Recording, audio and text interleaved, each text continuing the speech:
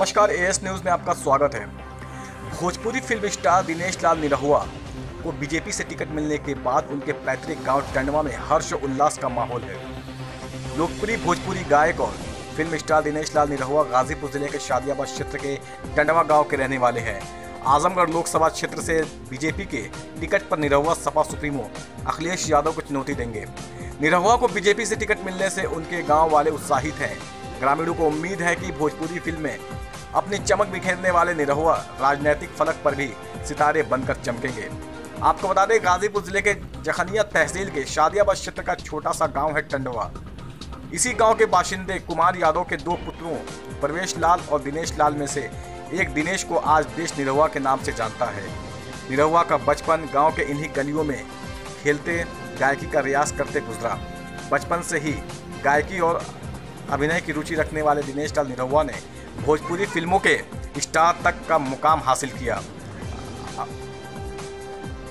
पहले एल्बम निरहुआ का सटल से फ़िल्मों की दुनिया में कदम रखने वाले निरहुआ ने भोजपुरी फ़िल्मों में अपना खास मुकाम हासिल किया। अब वे अपनी राजनीतिक पारी की शुरुआत कर रही हैं। हाँ हम लोग तो मैं तो बता रहा हूँ कि अपने यहाँ के सादियाबाद के लोग जो भी बीजेपी के कार्यकर्ता हैं हंड्रेड परसेंट खुश है साथ साथ क्षेत्र की जनता भी खुश है। पार्टी लेवल की बात अलग है जो जिस पार्टी का उसकी बात अलग है।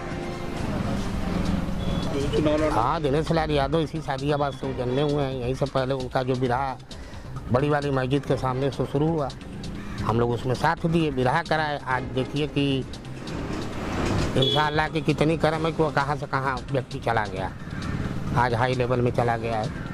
भाजपा की जो बड़ी टीमें हैं जैसे नरेंद्र मोदी जी हैं अमित शाह हैं महेंद्रनाथ पांडे उन लोगों के साथ जो आज हुआ, उस लेवल में बैठ और चुनाव लड़ने जा रहा है। आजमगढ़ से। उनके लड़ने से आप समझिए कि पूरे पूर्वांचल में एक अजीब सा माहौल बना हुआ है और वो एक सम्मानित व्यक्ति हैं एक्टर हैं और उनके आने से पूर्वांचल में पूरा असर पड़ा है और सारे लोग उनके आने से भाजपा के साथ जुड़ रहे हैं। और आजमगढ़ से जो वे सांसदी का चुनाव लड़ रहे हैं अखिलेश जी के आपको अपोजिट। बहुत ही बढ़िया, बहुत ही बढ़िया मतलब उनको अपना वो फेवर देंगे और वहाँ से सांसद बनेंगे। और वो एक बहुत बढ़िया, पहले हम लोग के साथ क्रिकेट भी खेला करते थे, लेकिन आज वो मतलब कि भोजपुरी जगत में एक अच्छे एक्टर के रूप में आज विख्यात हैं। और उन्होंने मोदी जी के कार्य पर और मोदी जी के, उनके कामों पर मोदी जी के साथ आए हुए हैं और जितने भी राष्ट्रभक्त हैं, जितने भी देश को मानने वाले और देश से जुड़ने वाले लोग हैं, सारे के सारे लोग भाजपा के साथ जुड़ रहे हैं और विरोधियों लोग को यह बहुत करारा जवाब होगा। वहीं आपको बता दें, भोजपुरी सिनेमा स्टार निरहुआ को बीजेपी ने आजमगढ़ से अपना प्रत्याशी बनाया है। निरहुआ सपा अध्यक्ष अखिलेश यादव को चुनौती देंगे।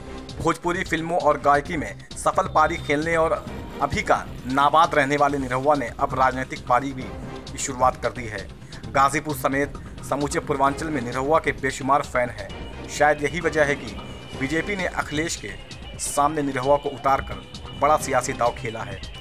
फ़िलहाल निरहुआ के गाँव वाले उन्हें बीजेपी का टिकट मिलने पर बेहद उत्साहित हैं और उम्मीद कर रहे हैं कि क्रिकेट में खासी दिलचस्पी रखने वाले निरहुआ सियासी पारी में अखिलेश को हराकर कमाल करेंगे।